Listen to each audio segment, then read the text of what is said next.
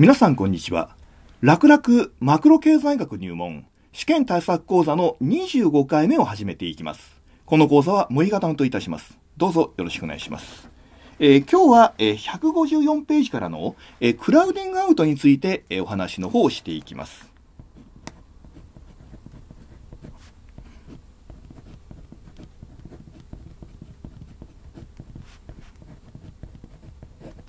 まあ、クラウディングアウトというのは、いわゆる、まあ、締め出し効果とも言われているもので、えー、どういう何から何を締め出すのかというと、例えばですね、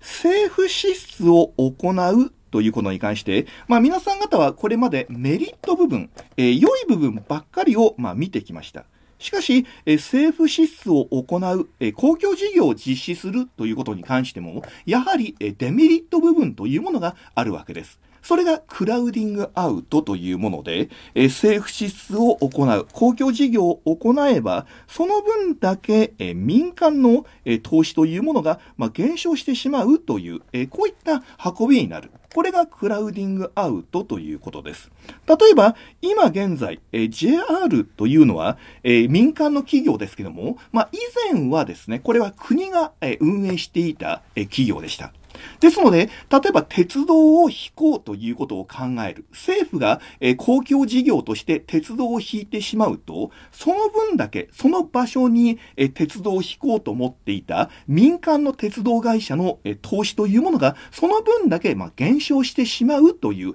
えこういった状況になってしまう。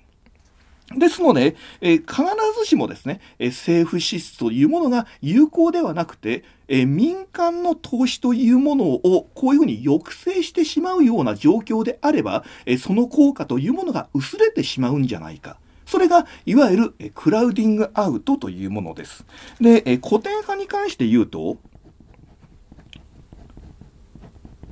クラウディングアウトというものが100%起きてしまうという、そうしたことを主張していたわけです。古典派はこの政府支出、財政政策に関して非常に否定的でした。なぜならばというと、クラウディングアウトを100%引き起こしてしまうということを主張していたわけです。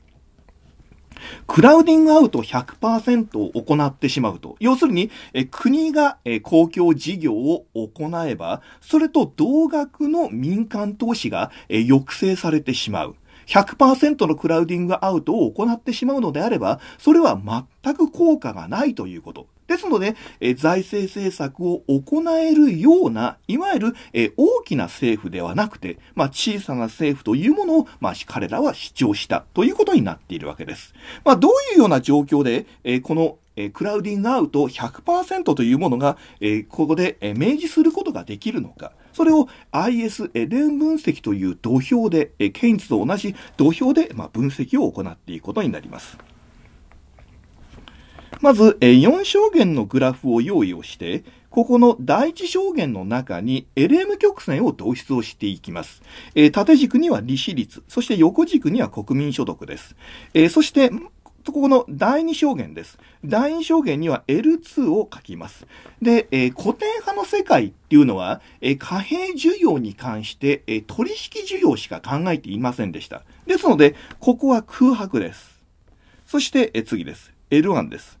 L1 というのは存在していたので、この L1 のグラフを書きましょう。こんな形ですね。えー、L1 と L2。一応こちらの方も用意をしておきます。こんな形のグラフになります。白紙で、えー、あるのはここだけですね、えー、こんなような状況です。で、選択するのは L1 しか存在していない、えー、取引需要しか存在していませんので、選択されるのはこの1箇所だけです。ですので、ここからこの点にぶつかります。この点に来て、ここからまっすぐ伸びるということで、横軸に対して垂直な LM 曲線になる。これが古典派の世界の LM 曲線ということになるわけです。で、この LM 曲線を使って、このクラウディングアウト100%になるという状況を明示していくことにしましょう。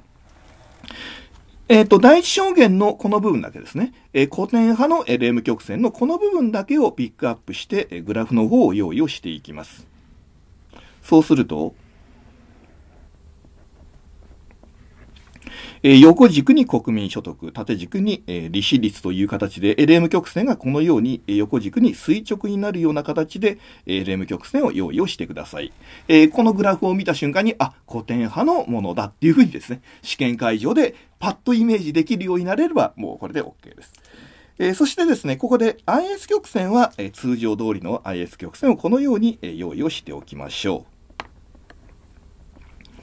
えー、ここで今現在の均衡点、初期の均衡点というものが、えー、Y0 で与えられていたというふうにします。えー、政府支出を行う、え、財政政策を実施するということを考えると、IS 曲線は右にシフトをしますので、IS 曲線は IS から IS' ダッシュへとシフトをすることになります。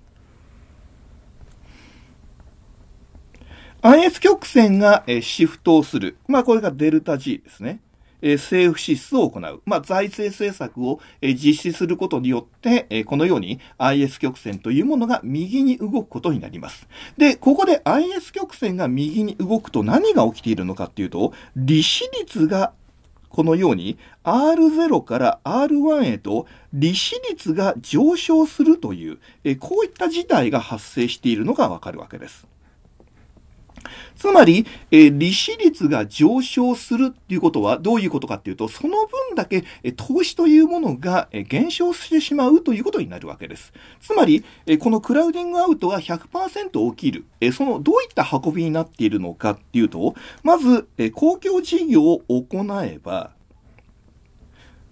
それによって利子率が上がる。ここで言っている R0 から R1 へと利子率が上昇してしまう。その利子率が上昇することによって投資が減少してしまうという、こういった流れになっているんですね。だから結局、ここで政府支出を行ったとしてみても、それと同額の、え、投資が減少してしまうということになるので、やはり、え、古典派の考え方というのは、え、政府支出、財政政策というものが無効になってしまうということになるので、え大きな政府ではなく、まあ、小さな政府でよかろうという、えそういったことになるわけです。これが、ま、無効になってしまうと。こういうことになります。で、え次にですね、じゃあ、えケインズはどうかということについてこれから見ていきます。えクラウディングアウト、え古典派、そして次にえケインズ派です。ケインズはどういうふうに考えたのかということです。えちょっとグラフが大きくなりますので、え別な紙を用意をしておきます。テキストでは、え157ページ。ここに、えケインズのえクラウディングアウトについて、え説明の方がなされています。まあ、ケインズもですね、やはりクラウディングアウトというものに関して、え一部は、え認めている、えそういった形になっています。まあ、一部のえクラウディングアウトを引き起こしながら、やはりそれでもえ財政政策が有効である。えそういった結論へと導いていくことになります。えグラフ上ではですね、こんな形を持っていきます。二つのグラフを用意をしていきます。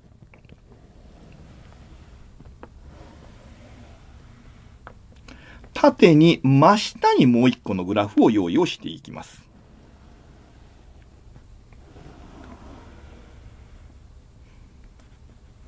まず、えー、上のグラフ。ここには、えー、財市場のグラフを用意をしていきます。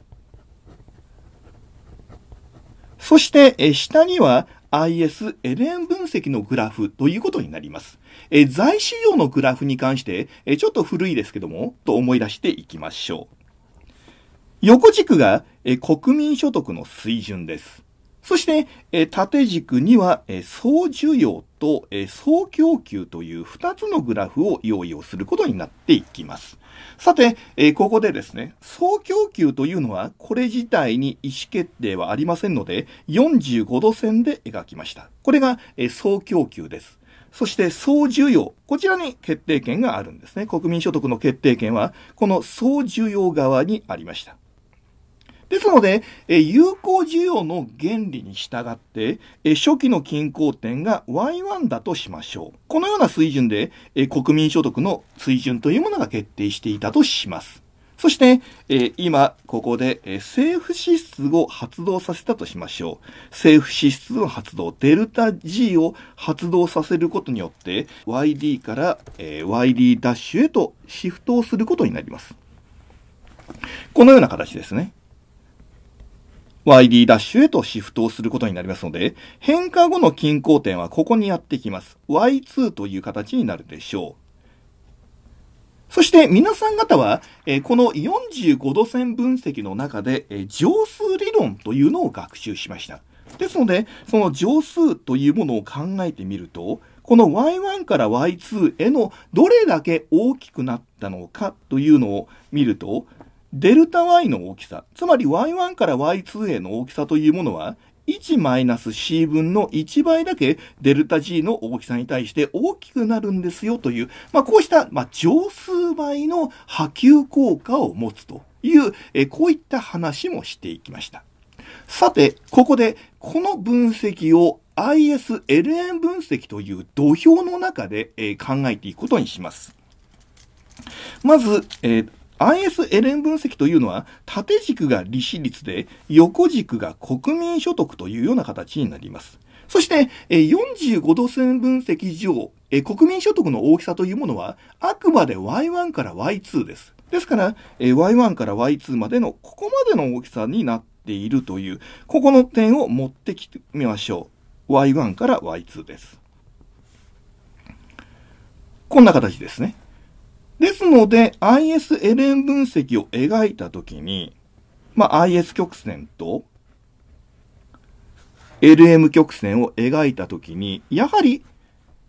初期の均衡点そのものは同じところに来るはずです。こんな形ですね。こんな形で来るわけです。で、次に、ここに注目しましょう。デルタ G を発動させる。つまり、えここで財政政策、政府支出を発動させると、乗数倍の波及効果になるということは、まず第一に IS 曲線が右に動くということですから、右に動いて、初期の均衡点は、ここから、ここに来ます。ここに来ます。合点は。ここに行くんですね。ですから、この点で、IS 曲線というものはこんな形です。IS 曲線は IS から IS ダッシュへとシフトをするということになります。これがデルタ G ですね。デルタ G によって IS 曲線は IS から IS ダッシュへとここにやってきます。しかし、この点って確かにこの乗数倍の大きさになっているけれども、この点って均衡点じゃないですよね。均衡点はどこかっていうと、ここなんですよ。だから、結局、この ISNN 分析というのはどういった状況になるのかというと、ここの点からここにやってきて、次にここに戻るんですね。こんな形です。動きは。で、ここに来るんですよ。こんな形です。で、なぜ、ここで逆戻りしてしまうのかというと、見ていただいたらわかるように、利子率が R1 から R2 へと利子率が上昇してしまっているんですね。利子率が上昇してしまうがために、ここで線を引っ張っていきましょう。せっかく乗数倍の大きさだけ国民所得は大きくなったんだけれども、この段階で、え国民所得が大きくなると利子率が上昇してしまうので、結局この大きさだけの国民所得の大きさが有効需要の減少によって、まあ、減債されてしまうということになってしまう。要するに、え利子率が上昇するがゆえに民間投資が減少し、国民所得が減少してしまうということです。結局、じゃあ国民所得がどれだけ大きくなっていくのかというと、Y1 からここですね、Y3。Y1 から Y3 だけの大きさだけ、え国民所得が大きくなるという、えこういったことになります。ですから、ISLN 分析上では、乗数倍の大きさの国民所得が大きくなるということではないんですよね。えー要するに、クラウディングアウトによって、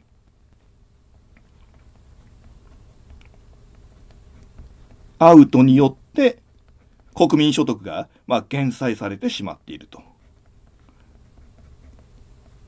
いう部分がこういうふうになっているということです。で、えここの部分で、なぜ国民所得が上がった時に利子率が上昇するのかということに関して考えていきましょう。まあ、これがですね、イメージパッと一瞬でできればですね、まあ、もうすぐに試験会場に行って OK です。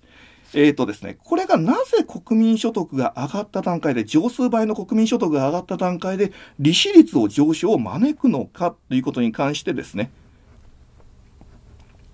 貨幣市場と連絡してみましょう。この状況で貨幣市場で何が起きているのかということです。貨幣市場で所得が上がれば貨幣需要が上昇している。えー、所得が上がれば L1 っていうのは確か、えー、所得の関数でした。ですから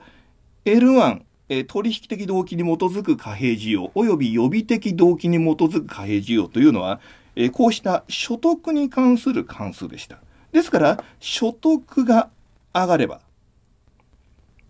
所得が上がるということは、L1 が上昇するという、こういった意味になりますよね。つまり L1 が上昇するってことは、結局その貨幣需要全体が上昇するという意味になります。えー、そうするとですね、考えてみましょう。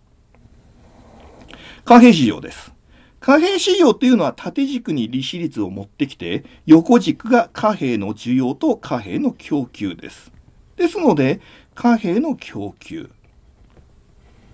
貨幣の需要、こんな関係のグラフになってるんですよね。貨幣の需要と貨幣の供給っていうのは、もちろん貨幣の需要というのは L1 プラス L2 です。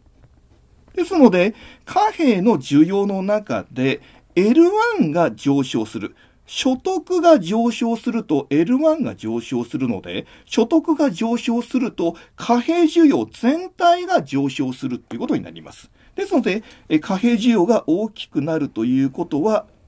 貨幣の需要は MD から MD ダッシュへとこのようにシフトをするということになりますよね。つまり貨幣需要の上昇というのは利子率を R1 から R2 へと引き上げるという、こういった流れになっているんですよ。つまり、え利子率の上昇というものを引き上げるということになります。えこれをまた ISN 分析上に戻りましょう。えそうすると、はっきりとここの部分が説明できることになります。え所得が Y1 から Y2 へと所得が上昇すると、利子率が上昇するために、その分だけの投資が減少してしまう。その分だけの有効需要が減少してしまう。つまり、クラウディングアウトを引き起こすために、国民所得の大きさというものは Y2 から Y3 だけこういうふうに戻されてしまう、えー、減災されてしまうということになります。結局、国民所得の大きさというものは Y1 から Y3 までの大きさしか大きくならないですよということになりますが、ただし、えー、ケインズはそれでも、まあ、国民所得の大きさが大きくなるということなので、まあ、有効である。一部であるけれども、まあ、有効である。という、えー、こういった結論に至ったということです。えー、今回の授業はここまでということにしておきます。どうもお疲れ様でした。